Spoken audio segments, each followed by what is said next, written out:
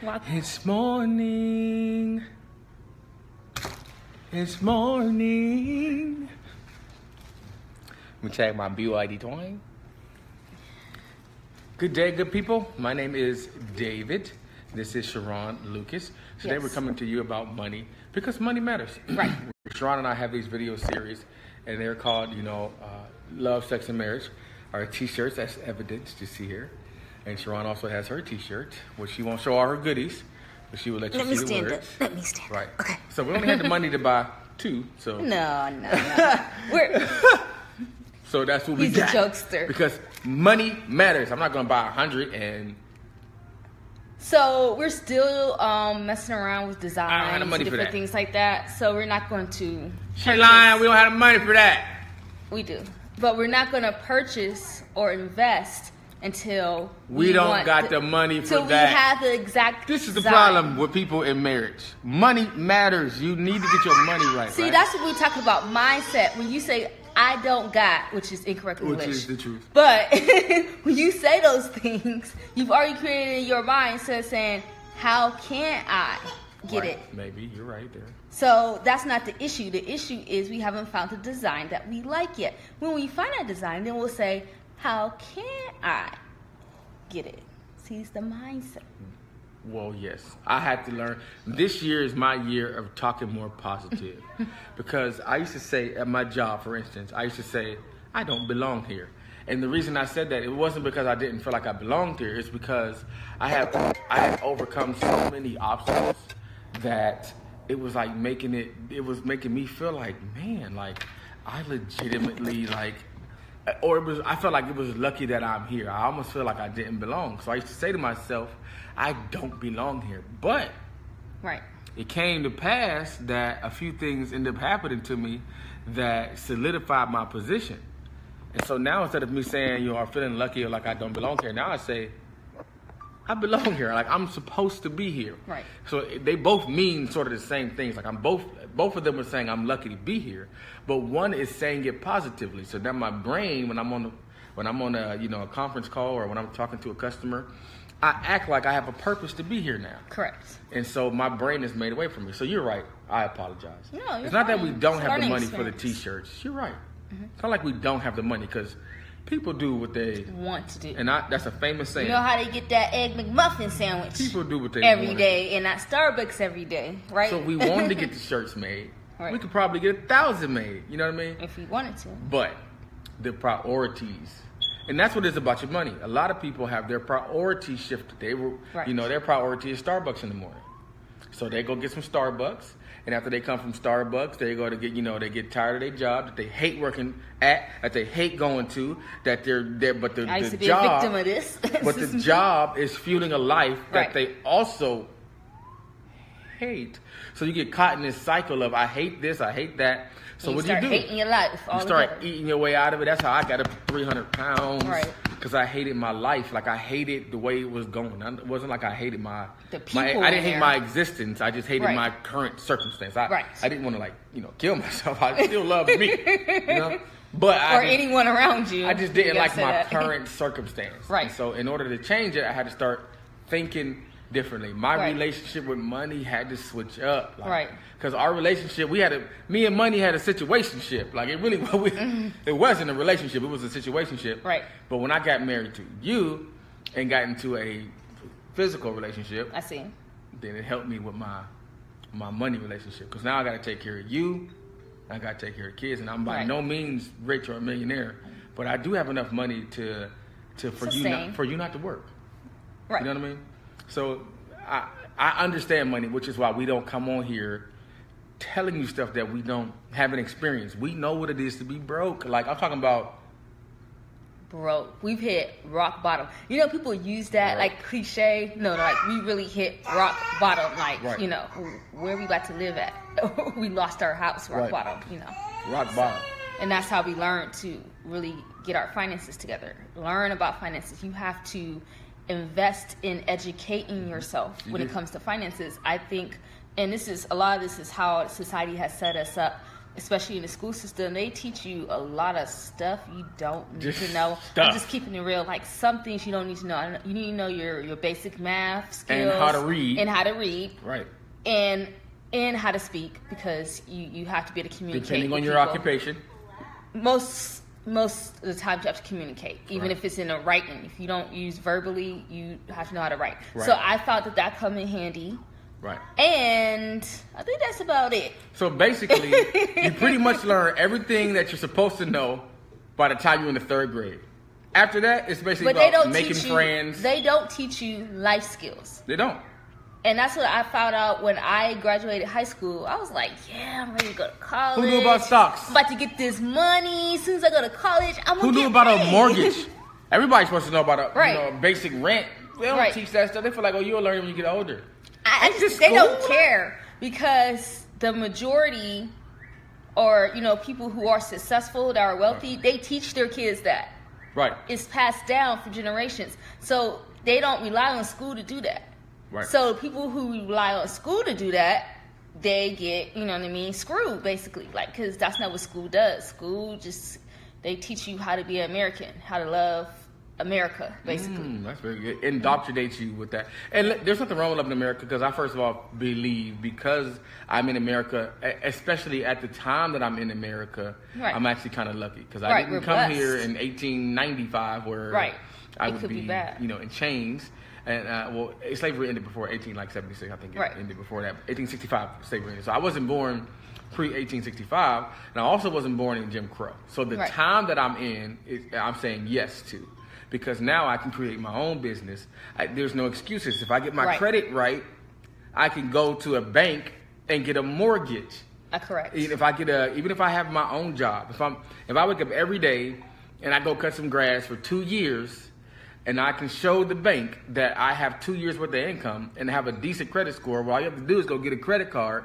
You can even, if you don't have a the credit score for a credit card, you can, you know, go get a like the, one of them credit cards where you put money down on it right.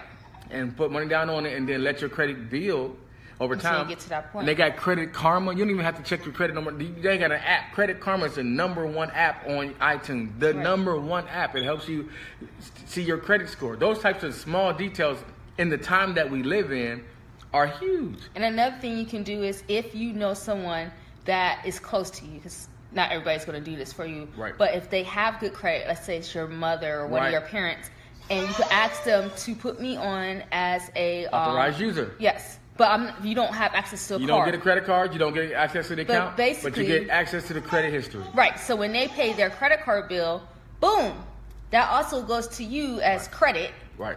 Um, and so that helps boost up your credit. It so it has to be someone close to you. And that's everybody's not going to let you do You can get 50, 60, 70 points. Right.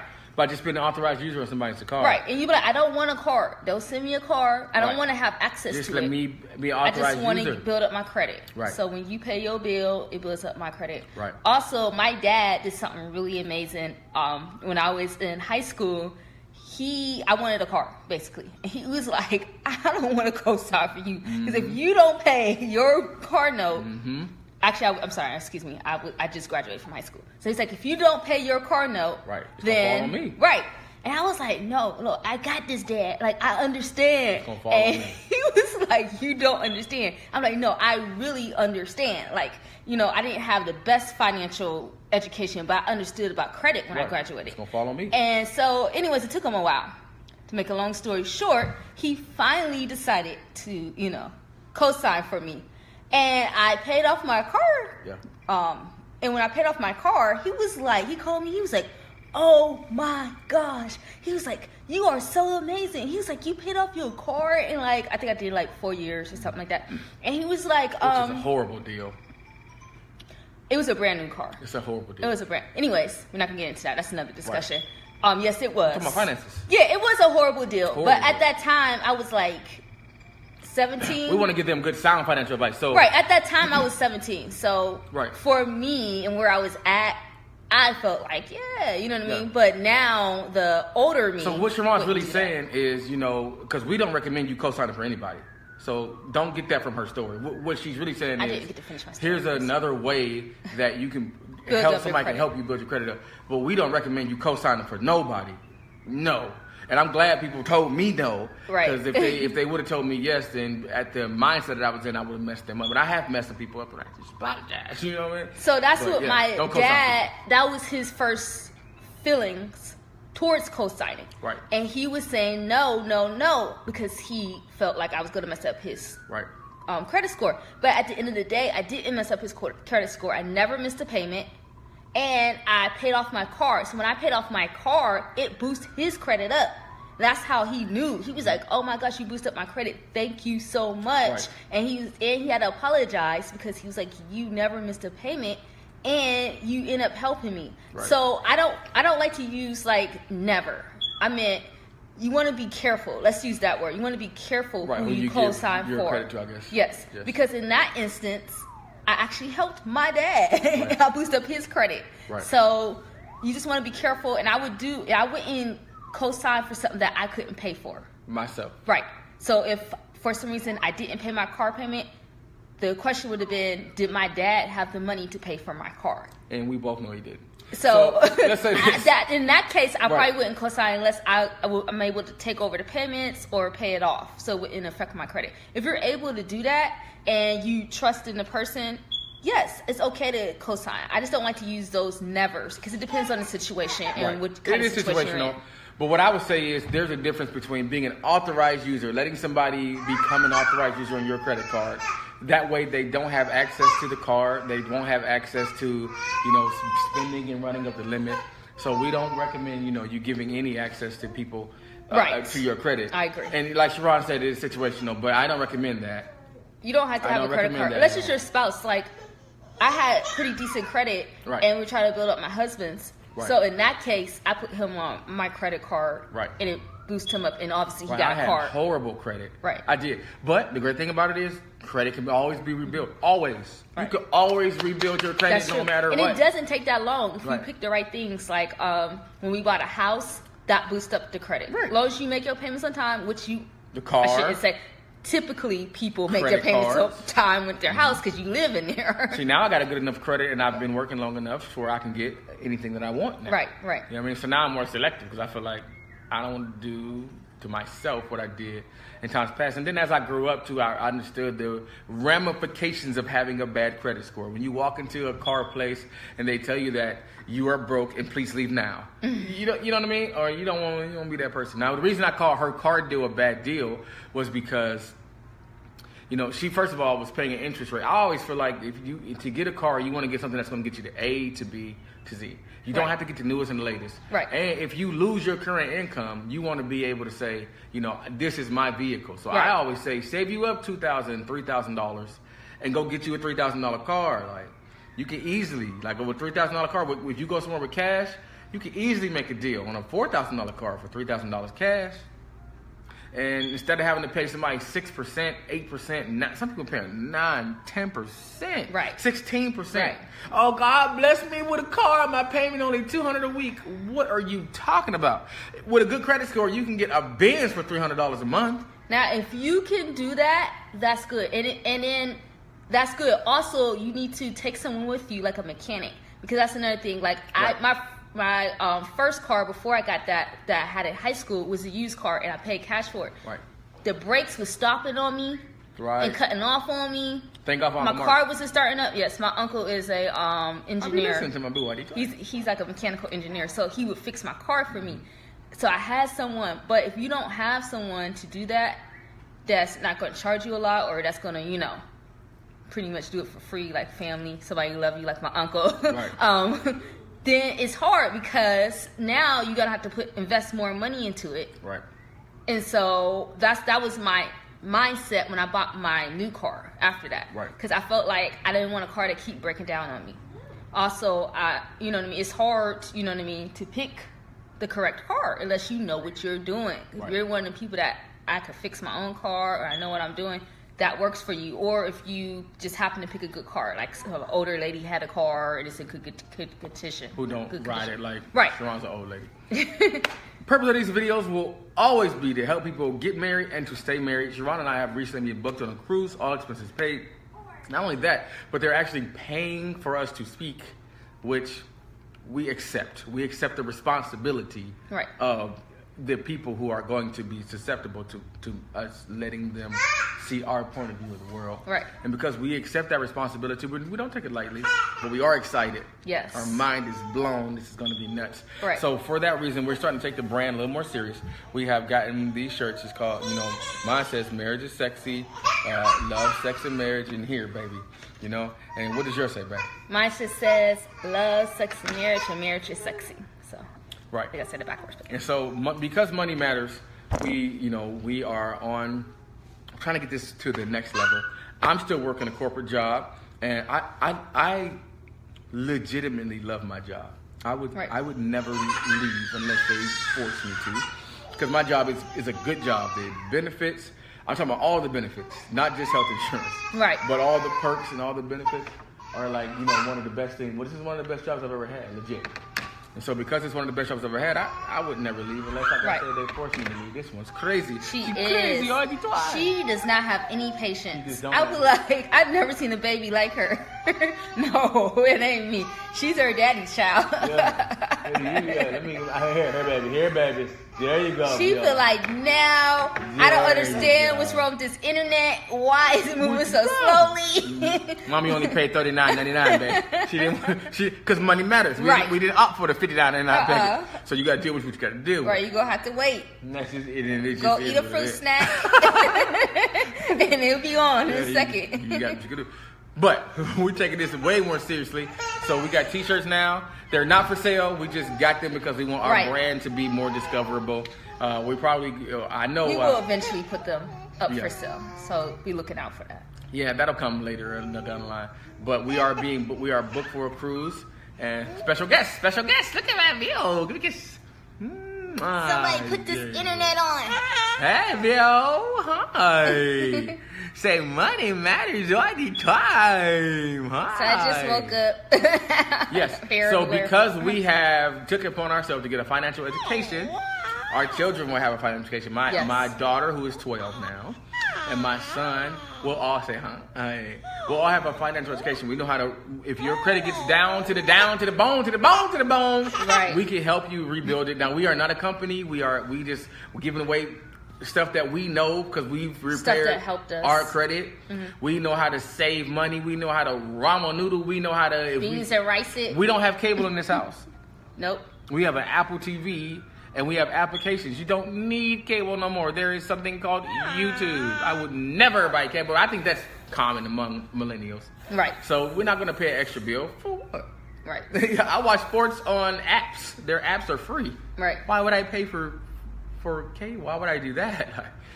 anyway, so especially if you broke. If you broke and you got cable, you need to reprioritize your relationship with money. You got a situationship. You don't have a relationship. Right. So I would say get that together. And what does being broke mean? Broke means I have to wait till I get paid to pay a bill.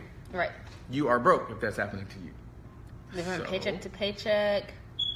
You know what I mean? So robbing gotta- Peter to pay Paul. Right, and you know, you keep robbing these people, they gonna call the cops. you hear me what I'm? Right. Bye bye, So I mean, you know, if you're in that situation, do what you gotta do.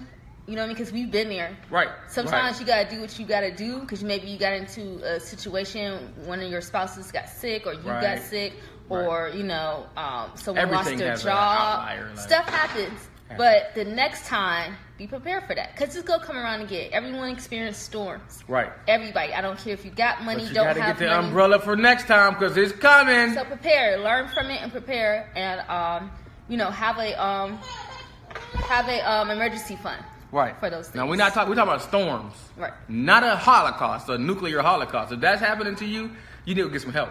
Right. And so me and Cherron might not be strong enough to help you in that area. if you need a bomb shelter for your finances, because some people just there are situations that are serious, more serious than you know me and Cherron come on. We we really come on to entertain you, to give you a little breather in your day. You know what I mean? And um, and it kind of challenge your current thought process. Hopefully, sometimes you know we won't make you mad, and because the truth will set you free. Before, Uh, yeah. before, or it wasn't free, but it set you free after it pissed you off. Right. So we're gonna end this video. Money matters. Hopefully, you take some of what we said and you know um, apply it. Right. Uh, we do got T-shirts. They are not for sale yet, but I'm pretty sure after we come up with another design or something like that, Young lady said she wants a t-shirt. I'm going to send you a free t-shirt. Kathy Gonzalez, we're sending you one. Yes. I want to tag you because you, you share our videos every day. She's a huge supporter. And then uh, if you if you guys want a, a t-shirt, let us know, and then we'll figure out a way to get you one. But Kathy, we love you. You're beautiful. You got a very beautiful spirit, and we love you. Yes. So I don't want to end you. it like that. So if Cherron and I get big by default, marriage gets big, and that's Right. the whole purpose. So Right. until next time, we do love you. Bye-bye. Bye-bye.